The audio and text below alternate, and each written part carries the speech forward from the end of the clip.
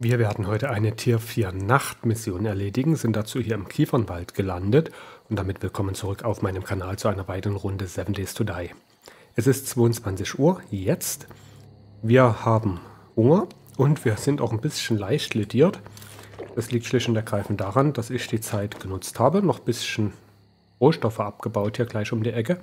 Und dann kam natürlich wieder eine Schreierhorde, das ist ja inzwischen schon fast normal. Ja, wir starten los. Fort Quonset. Ich muss zugeben, wir haben es tatsächlich schon vor einiger Zeit gemacht und zwar genau auch an dieser Stelle. Das habe ich daran gesehen, dass die... Oh, ja, da kommen schon die ersten. Dass die Rohstoffvorhaben hier tatsächlich schon von mir angeknuspert waren. Wo kommst denn du her? Oh, Du bist aber schön geflogen. Allerdings ziemlich unfreiwillig. ja, da muss man aufpassen, das Gebiet hier ist vermint. Das hat er jetzt kennengelernt. So, wo ist denn jetzt der andere Kollege hier? Der wurschtelt immer noch da unten rum. Warte, ich komme runter. So. Ja, da muss man aufpassen, hier überall diese Minen. Das ist gefährlich. Wäre ich auch schon fast in eine reingerannt.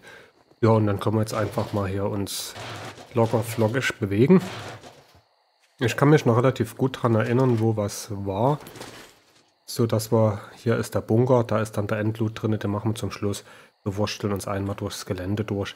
Das war nach meiner Kenntnis nicht so überragend. Was mich sowieso überrascht, dieser extreme Unterschied zwischen Tier 4 und Tier 5 Missionen. Vom Schwierigkeitsgrad her.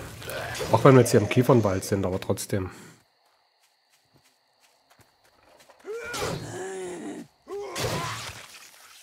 Da haben wir ja in der Wüste bei den Tier 5 Missionen, hat man da richtig zu kämpfen.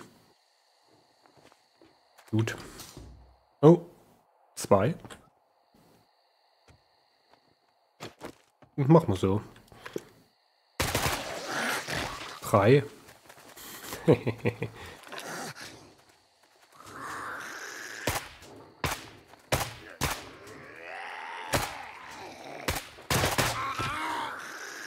Der lebt immer noch.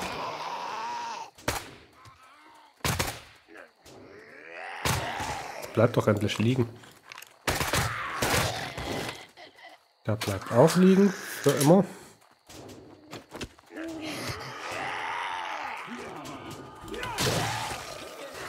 Ah ja, das stimmt. Da oben waren auch noch welche. Hatte ich total vergessen.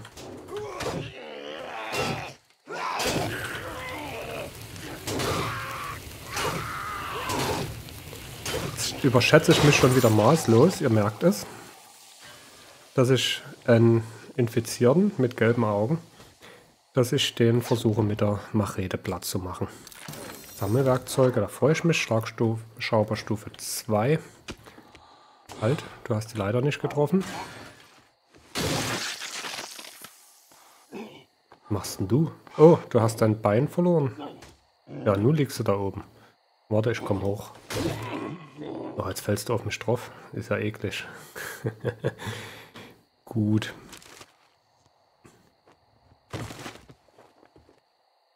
So, geht's wieder runter und weiter.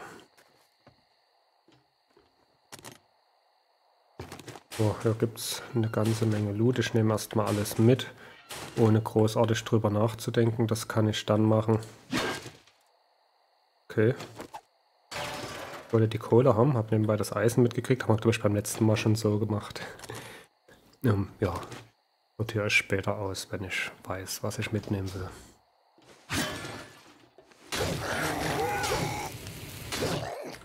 Das sind auch wieder drei.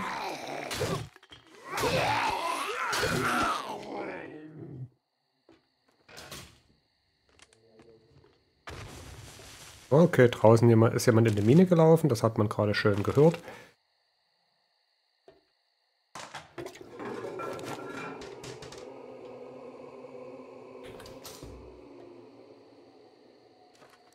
Das muss keiner aus der Mission gewesen sein. Das kann auch, den Zement holen wir uns dann noch, den schaufeln wir weg. Das kann auch jemand externes gewesen sein. Aber auf jeden Fall hat es oben nicht gerumpelt und gescheppert. Und jetzt ist jemand kaputt. Der ist noch nicht kaputt. Jetzt. Und da kommt noch einer.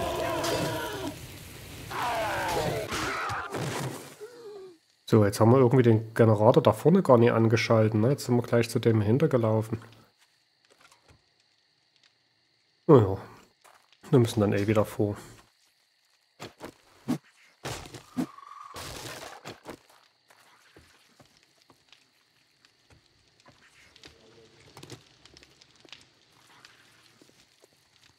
Ein einzelner.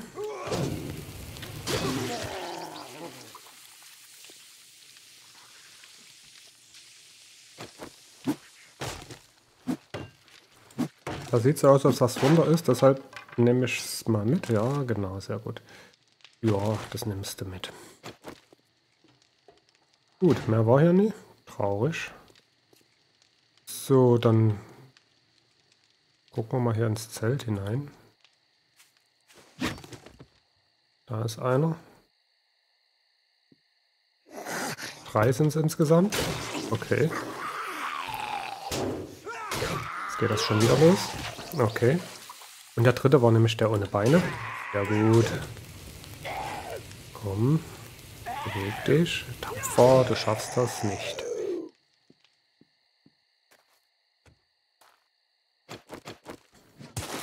Zement nehme ich nach wie vor mit. Feine Sache. Mehr ist ja nicht.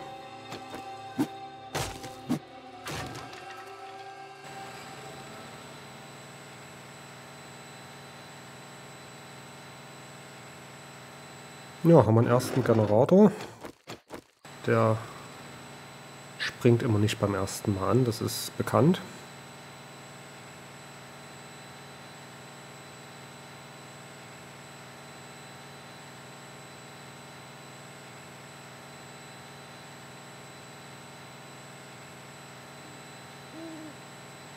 Ja, geschafft. Da läuft er.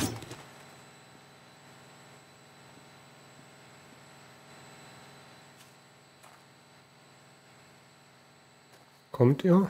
Oder muss ich euch betteln? Oh, guck mal, hier ist was kaputt gegangen.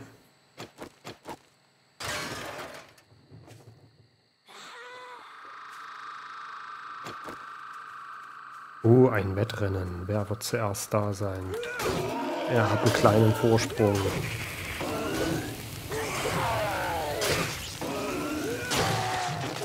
Dann wurde er von ihrem Kopf getroffen. Verrückt. Der Generator läuft. Da vorne müssen wir dann die anderen noch anmachen. Das ist kein Zement, aber das hier ist welcher.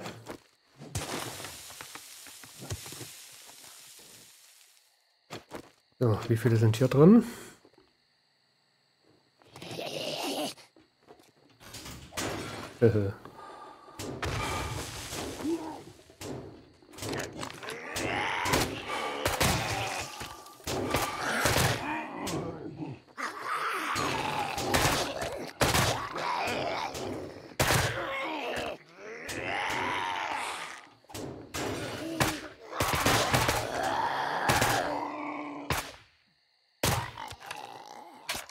Sehr schön.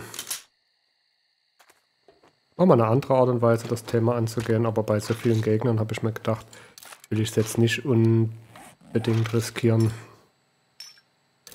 Das war irgendwie, da ist noch ein Stuhl. Das wird dann zu viele Schläge einkassieren. Das kannst du mal mitnehmen, wobei das gleich zerlegen kannst. Da hast du gleich das kann man hier... Okay. Oh, jetzt ist es weg. Bücher, was hat er denn? Fahrzeuge. Wir brauchen eigentlich die Maschinengewehrteile. Ne? Da haben wir noch gar nichts gefunden hier, was in diese Richtung geht. Schade, hatte ich mir ein bisschen mehr versprochen von dieser Mission. So, da vorne steht dann nämlich der Generator. Sind wir vor uns auch dran vorbeigelaufen. War zu offensichtlich.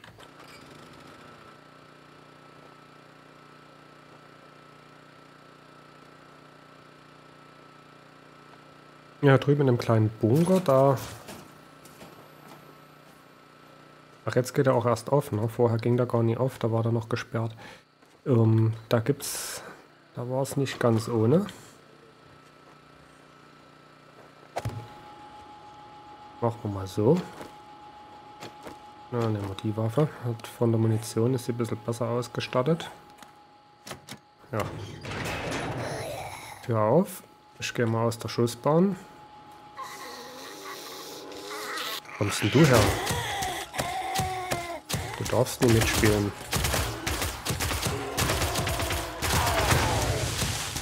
Oh nee, was war das denn?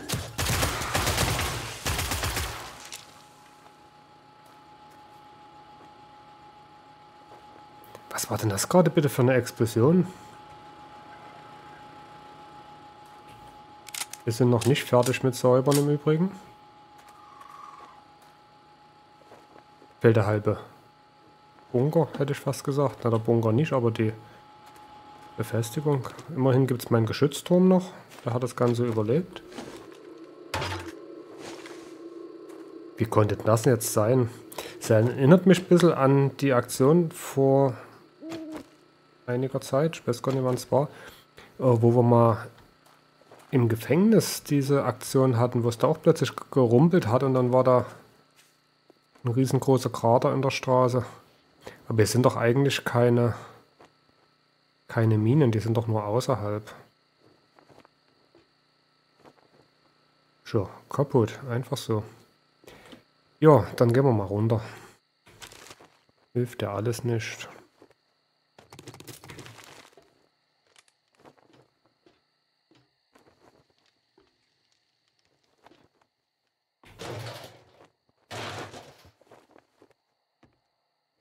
Ach ja, da mussten wir uns ja durchbuttern, ich erinnere mich.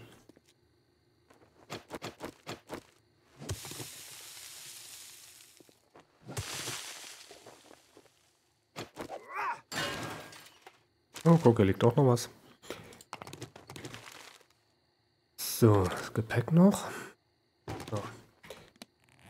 Das kannst du auf jeden Fall schon mal zerlegen. Und ich glaube, die Eisenrohre kannst du auch zerlegen. Einen einzelnen Leben, den lassen wir hier. Gut. Und dann brauchen wir hier den Geschützturm oder kriegt man das so hin?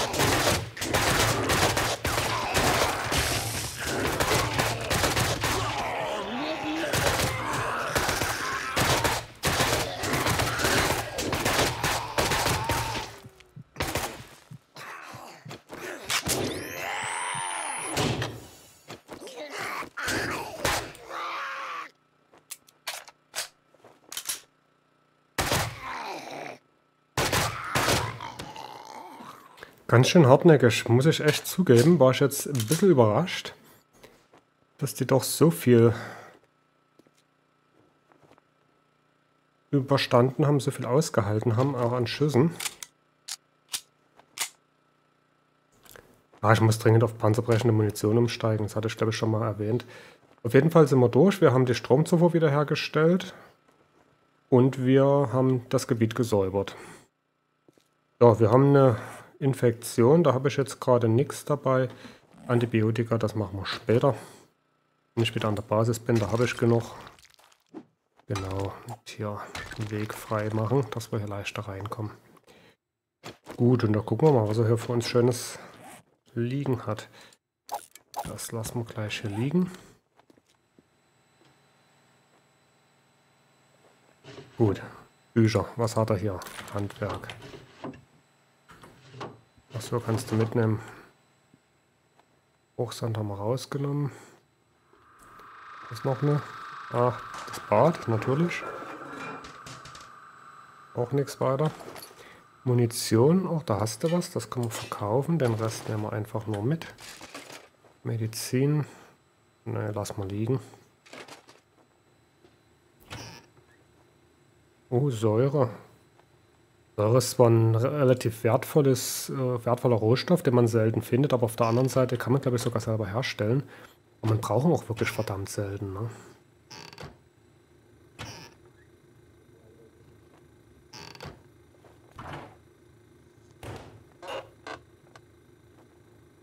Naja, da erstmal die zwei Dinger.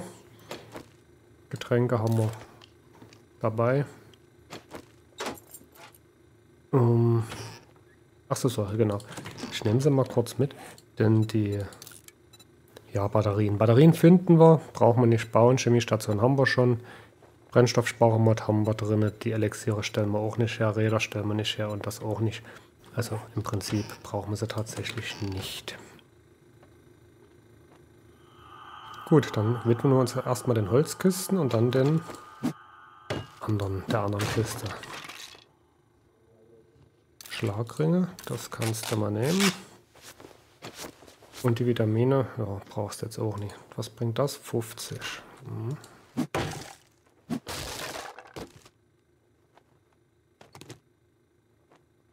Sammelwerkzeuge.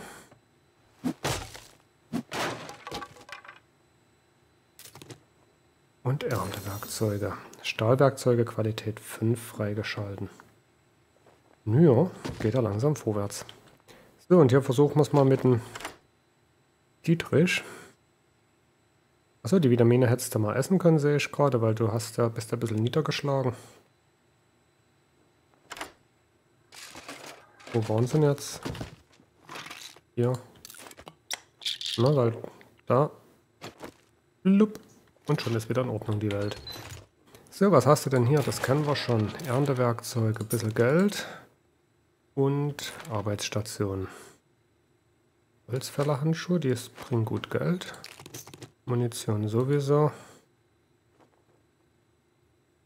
Das kannst du mal mit verbrauchen. Kriegst du noch ein bisschen Gesundheit. Das Ding kannst du mit verscherbeln. So, dann haben wir es soweit. Mehr gibt es nicht zu holen. Doch, hier ist noch was drin. Schlagringe und eine Pistole, die allerdings auch nicht so viel bringt. Nehmen sie trotzdem mit.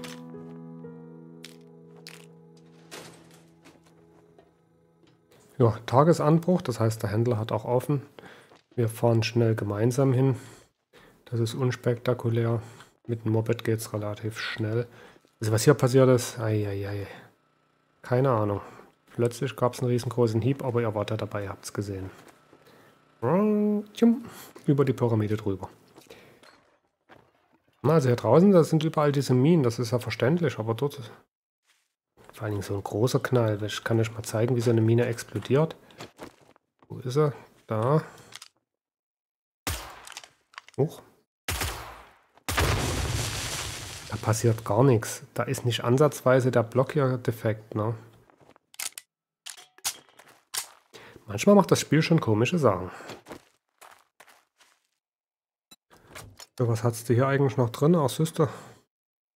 So, dann packen wir mal ein bisschen was raus, dass wir Platz für die Belohnung haben.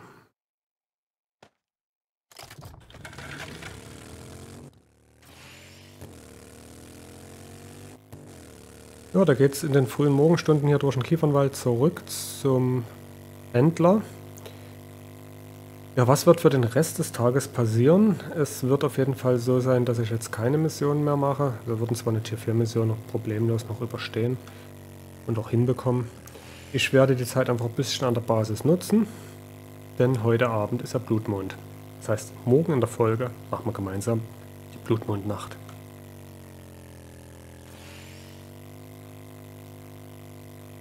Da werde ich also noch ein bisschen Rohstoffe farmen vielleicht wir hatten mir auf jeden Fall genug äh, Material zusammensammeln, dass ich die Falle oben nicht reparieren kann. Also vor allen Dingen Stahl für die Klingenfalle brauchen wir in großen Mengen.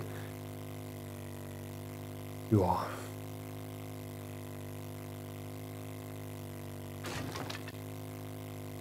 Jetzt sind wir wieder in der Wüste und dann sind wir auch gleich beim Händler.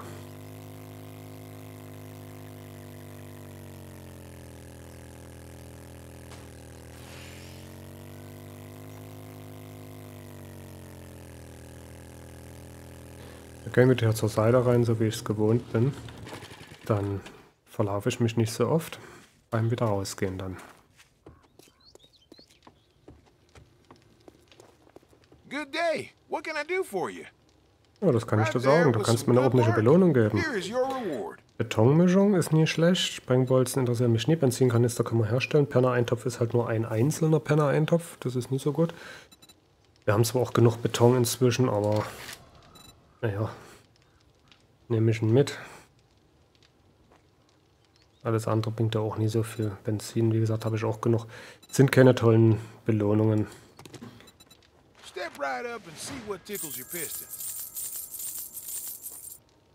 Es ist halt auch leider so, dass wir hier mit den Belohnungen noch nie allzu weit sind. Es gibt ja die Skills und wo warten das? War das gleich hier ganz vorne?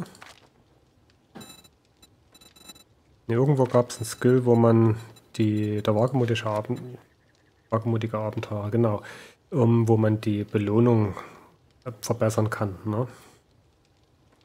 Wobei das ist... Doch, hier hinten kriegt man dann zwei Questbelohnungen. Beide Zugang zu besseren Händlergegenständen. Und erhalte mehr Tukes. Ja. Gut, sei es drum. Wir gucken noch mal kurz, was er für uns als äh, zum Verkaufen hat. Stahl werden wir nicht kaufen. Wir suchen Maschinengewehrteile. Aber nicht. Ja, und dann gucken wir mal, was er für Bücher hat. Erntewerkzeuge, elektrische Fallen, Shotgun, Rohrschlaghämmer, Schlagringe. Ja, nichts, was wir jetzt unbedingt brauchen würden. Was hat er an panzerbrechender Munition? Was kostet uns die? 150 Schuss, 7200. Ja, kommen wir vielleicht doch besser, wir stellen sie selber her, ne? Mhm. Denn so viel kriegen wir ja dann doch nie für unsere Quests, dass wir hier ständig dann entsprechende Munition kaufen können.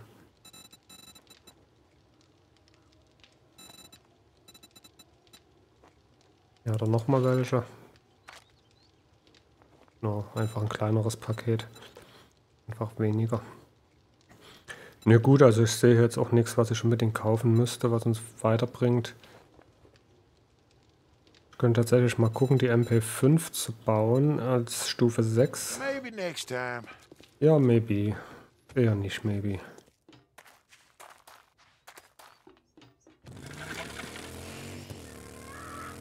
Was? Uh.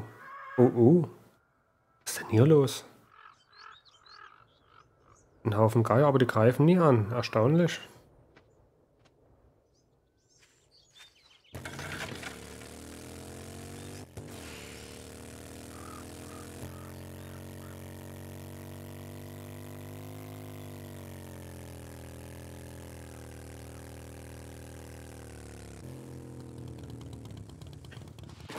Ja, das ein Material einsortieren kann ich später.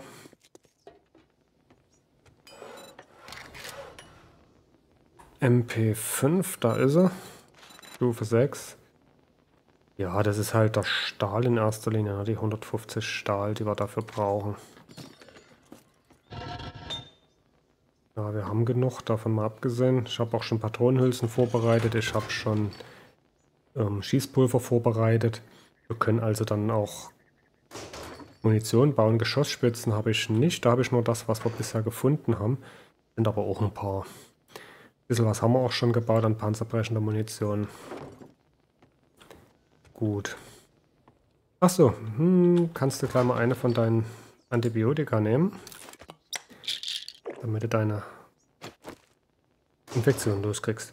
Ja gut, ähm, wie gesagt, ich werde jetzt offscreen noch ein bisschen Kleinkram machen, nichts äh, Weltbewegendes. Vielleicht äh, nutze ich auch die Betonmischung, um unsere Falle noch ein bisschen aufzuwerten. Wobei die Bereiche, wo uns jetzt so ein bisschen Schaden machen, die sind ja alle schon auf Beton oder teilweise sogar schon auf Stahl aufgewertet. Da habe ich jetzt keine großen Bedenken. Ich habe die Anzahl der Blutmondfeinde erhöht gehabt nach der letzten Blutmondnacht. Das hatte ich angekündigt, dass ich das mache. Wir sind jetzt bei 16. Ja, und Ach so, das hatte ich glaube ich mal offscreen gemacht. Ich habe hier tatsächlich noch eine äh, Klingenfalle hingebaut. Da ist der Plan, dass die Zombies, die hier oben dann runterfallen. Ich hoffe, dass die nicht hier drauf stehen bleiben, hier, wie ich jetzt stehe, sondern dass die dann tatsächlich äh, runterfallen. Und dann kriegen die beim Runterfallen erstmal noch einen Kopfschnetzler und vor Dingen die, die sich hier stapeln. Also wenn jetzt hier einer im Zaun steht und sich deshalb nie bewegen kann und ein anderer fällt drauf, dann wird er von der Klingenfalle geschnetzelt. Und wir kommen an die Klingenfalle ran zum Reparieren. Das ist mir auch wichtig gewesen.